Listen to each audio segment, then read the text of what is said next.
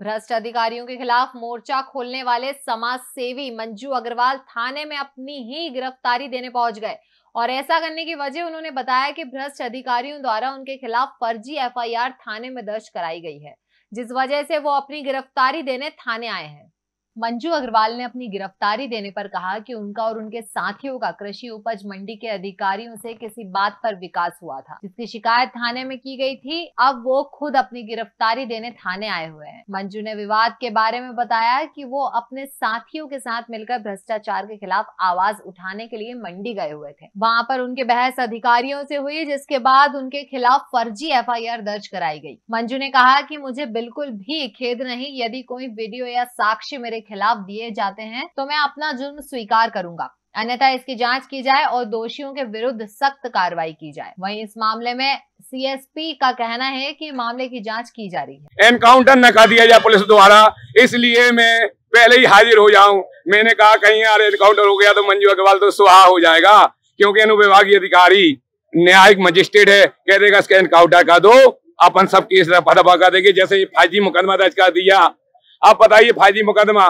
दर्ज होने के बाद कहीं इनकाउंटर हो जाए, इसलिए मैं भैया गुलामी की, भैया पहले ही हम देश में आ गए, भैया गरीब है फटे चिते कपड़ा है, भैया अंदर से ब्लड निकल रहा है, भैया खून कपड़ों में छपा हुआ है भैया। थाना सिविल लाइन में जो मंडी है, यहाँ पर शासकीय सेवकों के साथ उसके द्वारा अभद्र व्यवहार और कार्य में रुकावट पैदा की गई, जिसके कारण उनके खिलाफ अपराध पंजीबद्ध किया गया है।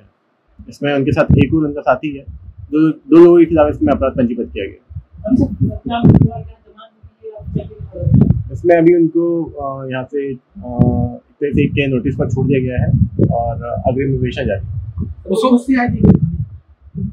ये खुद आए थे और इसमें फिर मंडी के जो कर्मचारी उनके द्वारा एक लिखित आवेदन दिया गया था जिसके बाद उन पर एक उन पर अपराध पंजीबद्ध किया गया।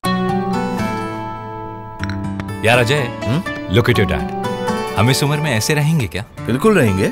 अगर पापा जैसी सही प्लानिंग की तो। जैसे कि? मेरे पापा ने इन्वेस्ट किया एलआईसी के जीवन अक्षय में जो दे रहा है इमीडिएट और guaranteed annuity at regular intervals ज़िंदगी भर के लिए। वाह।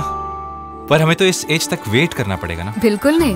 हमने तो अभी इन्वेस्ट किया है LIC के न्यू जीवन शांति में जो हमें देगा डिफर्ड एन्यूटी मतलब कुछ साल बाद से regular income I C L I C L I C के एन्यूटी प्लान दे एन्यूटी ऑप्शन और नियमित इनकम पाने में फ्लेक्सिबिलिटी भी। एल आई सी हर पल आपके साथ।